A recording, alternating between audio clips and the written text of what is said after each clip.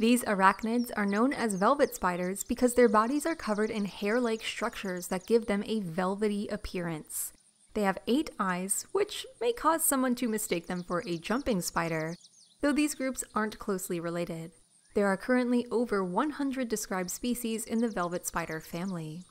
Velvet spiders are most commonly found in Africa, Europe, and Asia. Some, however, live in South America.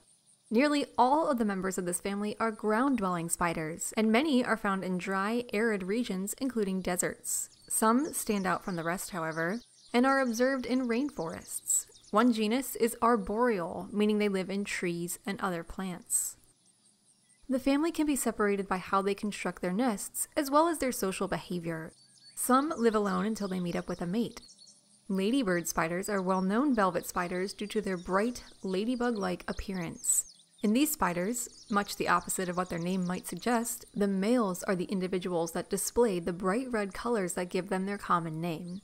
Females are mostly black and are rarely seen because they rarely leave their burrows.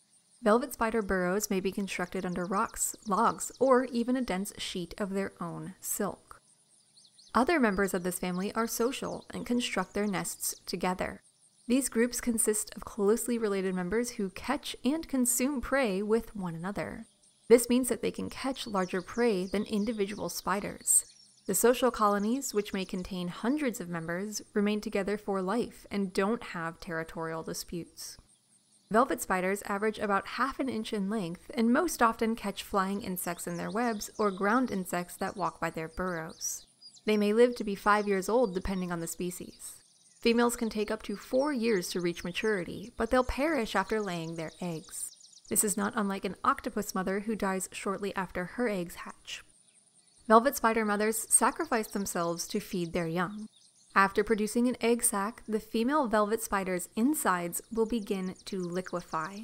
She'll vomit up her own liquid innards to feed her newborn children. When she's out of organs, she'll die, and the babies will eat her remains. It may sound gruesome, but it's a huge help in ensuring that her children survive to adulthood. For more facts on velvet spiders, check out the links below. Give a thumbs up if you learned something new today. Thank you to our patrons, Spike Spiegel 93, Dad, and everyone else for their support of this channel. Thank you for today's request. And thank you for watching Animal Fact Files.